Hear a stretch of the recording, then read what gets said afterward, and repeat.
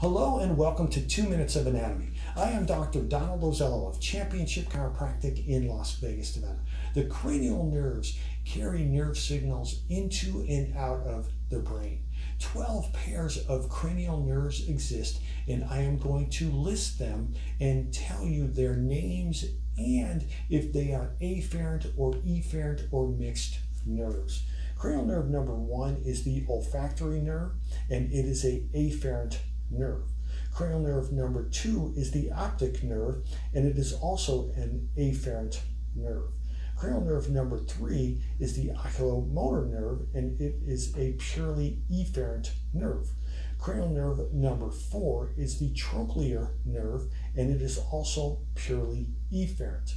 Cranial nerve 5 is the trigeminal nerve, and it is a functionally mixed nerve, meaning that it is an afferent and efferent nerve.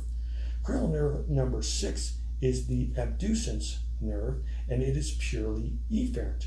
Cranial nerve number 7 is the facial nerve, and it is a functionally mixed nerve, meaning that it is afferent and efferent. Cranial nerve number 8 is the vestibulocochlear nerve, and it is purely afferent. Cranial nerve number five is the glossopharyngeal nerve, and it is a functionally mixed nerve. Cranial nerve number 10 is the vagus nerve, and it is also a functionally mixed nerve.